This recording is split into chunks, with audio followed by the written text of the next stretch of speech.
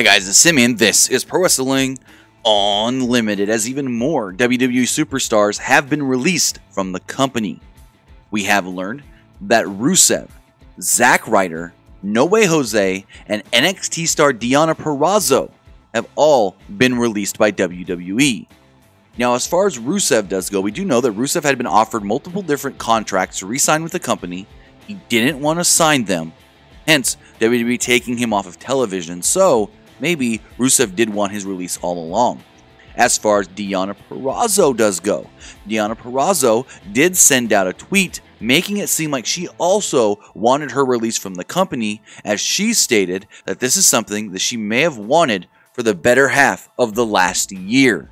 But with that, these are more WWE superstars that have been released from the company. And if we do hear anything else on more names that could possibly be released, we will have it for you right here on the PW Unlimited YouTube channel and on our website, pwunlimited.co. But that's going to do it for this episode. Remember to comment below, like and share this video, like us on Facebook, Instagram, and Twitter, and subscribe right here on YouTube.